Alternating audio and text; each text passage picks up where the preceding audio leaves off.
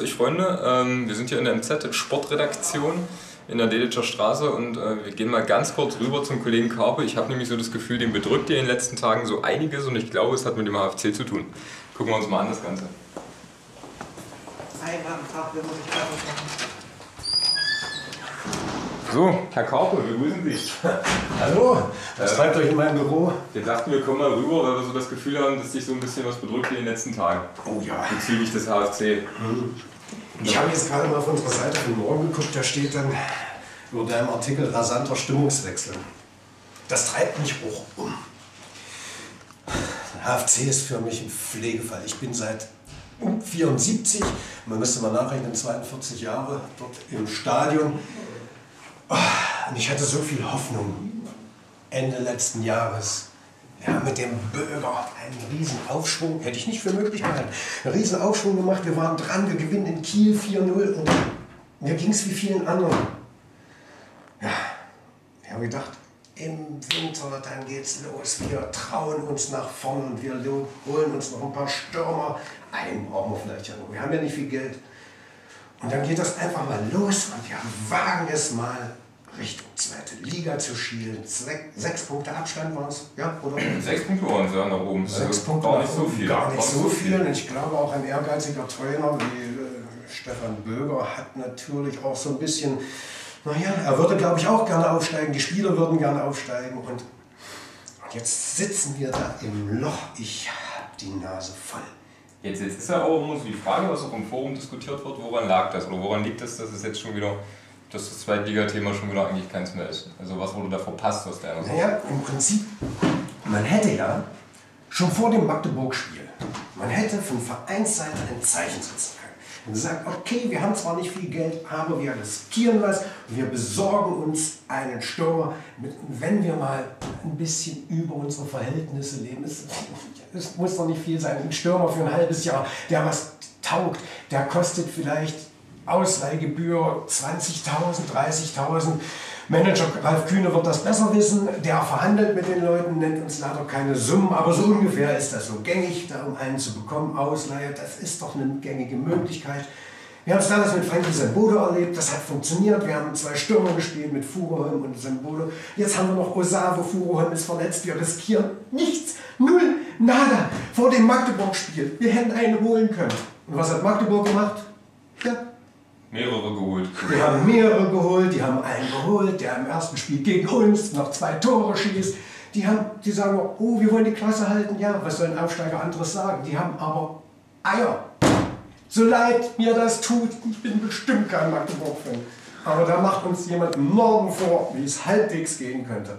So klamm kann es doch nicht sein. Unser Etat ist viel höher als der von Magdeburg. Und ich verstehe diese Feigheit nicht, diese Provinzdenken. Da drüben haben wir Leipzig, die steigen auf in die erste Liga. Da oben haben wir Magdeburg, die steigen vielleicht auch auf in die zweite Liga. So. Und wir sitzen hier die ganze Sache irgendwie aus. Ich weiß es nicht. Wir sitzen hier und nichts passiert. Ein Management zum Beispiel muss sich an Resultaten messen lassen. Und das Resultat, wir haben, wir haben Beere geholt. Was halten Sie von Herrn Beere? Herr George. Ich dachte, ich dachte Nee, sag wir duzen uns. Nee, sag mal. Weiß ich nicht, es ist ein junger Mann. Äh, er muss sich natürlich jetzt irgendwie mit dem Vorwurf äh, konfrontiert sehen, dass er der einzige Zugang ist, obwohl er eigentlich gar nichts kann. Ja. Er- er also kann prasselt alles so ein bisschen auf ihn ein, aber er kann nichts dafür. Er mag ein guter sein. Und Ja. hat er bei, bei 96 nicht im Vertrag bis 2018, ja. Aber wenn Ralf Kühne vorher sagt, wir suchen uns eine Soforthilfe, dann ist natürlich die Frage, ob das die Soforthilfe ist. Ne? Na ist er nicht nur hier, um Spielpraxis zu sammeln? Vielleicht hat er gar nichts gekostet und Hannover hat gesagt, los, komm, lasst den Jungen spielen. Ihr kriegt den, bei uns kriegt er keine Chance. Ihr kriegt den für einen Appel und ein Ei, aber lasst ihn bitte spielen. Ja. Damit er im Sommer zurückkommt und in Schwung ist. Ja. Ja. Ja. Also hat das Management ja, ja einen Kontakt gehabt, wie auch immer der dann zustande gekommen ist. Aber Mann, und dann stehst du hier und ich habe mir dann auch die Foren angeguckt und alles Mögliche. Ich habe gestern auch Transferticker, Mensch, jetzt ist noch, noch eine halbe Stunde. Vielleicht kommt noch was, vielleicht kommt noch was. Nichts, nada, null. Und dann stehst du hier raus und sagst, Chance vertan. Wir haben zwei Spiele verloren in der Rückrunde. Okay, wir haben scheiße gespielt.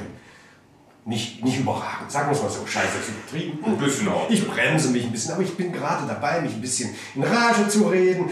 Wir müssen vielleicht auch ganz kurz mal erklären, warum du dich so in Rage redest. Ich meine, du machst das ja schon seit 30 Jahren und bist schon seit 40 Jahren HFC-Fan, ne? So ungefähr. Also ich verfolge, ich bin damals mit dem HFC in die zweite Liga aufgestiegen. Damals war ich dabei, als die in Chemnitz da den Aufstieg, den Platz 4 in der letzten DDR-Oberliga fix gemacht haben. Ich war beim Europapokal gegen Torpedo Moskau. Ich habe das alles miterlebt. Ich bin in der zweiten Liga zu den Auswärtsspielen mitgereist als Berichterstatter für die Mitteldeutsche Zeitung. Und jetzt sagt man sich, es muss in diesem Verein doch mal irgendwas vorwärts gehen. Eine Vision. Haben nur wir Vision? Haben nur wir Vision? Irgendwo scheint man sich eingerichtet zu haben. Es ist schön, dass wir dritte Liga spielen. Zweifellos. Aber irgendwann muss ich doch die Leute mitnehmen, mitreißen. Ich muss denen doch anbieten. Leute, wir probieren was. Wir da kann man ja als Verein eigentlich kaum was verlieren. Nein, eigentlich kannst du nicht. Aber du kannst verlieren, wenn du so agierst wie jetzt. Und zwar deine Fans. Die verlierst du. Am Wochenende Dresden, Knaller, zu DDR-Zeiten stand ich da im Block, 25.000. der HFC war ein kleiner Mittelklasseverein, der vielleicht siebter, achter war. Dynamo immer die große Macht. Ja, im Prinzip sind die Verhältnisse ähnlich jetzt, 30 Jahre später, Verhältnisse ähnlich. Damals 25.000 im Stadion wollten das sehen. Und jetzt, das Spiel ist nicht mehr ausverkauft. Und das ärgert mich einfach.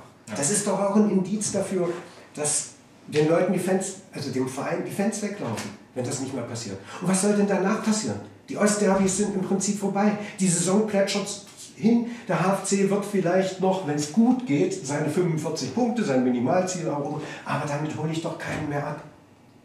Und das macht mich so sauer. Mir fehlt eine Perspektive. Ich würde gerne meinen Verein so ein bisschen da mitfiebern können, oben dabei und alles gut. Das ist ja auch die Frage, was die Leute dann fragen. Naja, meckern tun sie ja alle, aber wie soll es denn weitergehen? Also jetzt vielleicht auch im Sommer, in den nächsten Monaten was? Ich habe keine Ahnung. Hm. Und diese Ratlosigkeit, hm, hm. im Prinzip, da laufen wie viele Verträge auf? 16, 16 Verträge laufen. Plus Stefan Bürger. Plus Stefan Bürger. Alles ist in der Schwebe. Gibt es Nachrichten, von, dass mit irgendwelchen Spielern geredet wurde? Dass mit Bürger geredet wurde, wie es weitergeht. Nee, als Spieler würde ich mich doch auch nicht anstrengen, wenn ich nicht weiß, wie es im Sommer weitergeht. Wenn ich aber weiß, ich bleibe beim HFC, ich habe einen Vertrag und dieser Verein will mit mir aufsteigen, dann spiele ich doch ganz anders. Mein Gott. Ja. Wenn ich in der zweiten Kreisklasse, wo ich immer noch in Kolwitz kicke, wenn, ich, wenn wir aufsteigen, ja, wir sind Vierter oder so, wenn wir eine Chance haben aufzusteigen, natürlich knallen sich dann alle rein. Es geht um Aufstieg. Und der Verein sagt, ja, macht Jungs los. Kostet natürlich nichts. Aber zweite Liga, 5 Millionen Fernsehgeld mindestens. Das ist doch meine Perspektive. Und jetzt, ich habe Angst, dass wir erdrückt werden hier in Halle. Zwischen Magdeburg, da oben und Leipzig, da drüben. Und das ist, macht mich traurig. Das bewegt mich. Und jetzt lese ich deinen Artikel noch zu Ende. Alles, was ich bis jetzt gelesen habe, war toll, spricht mir aus der Seele. Können die Leute in Leipzig morgen auch noch lesen. Naja. Und ich hoffe, wir können uns mal unterhalten, wenn ich ein bisschen fröhlicher drauf bin. Ja, hoffentlich, denke ich doch auch. Also äh, ja, Mittwoch MZ kaufen, lesen und ansonsten äh, sehen wir Christoph mit Sicherheit bald wieder und dann wirklich hoffentlich in besserer Laune.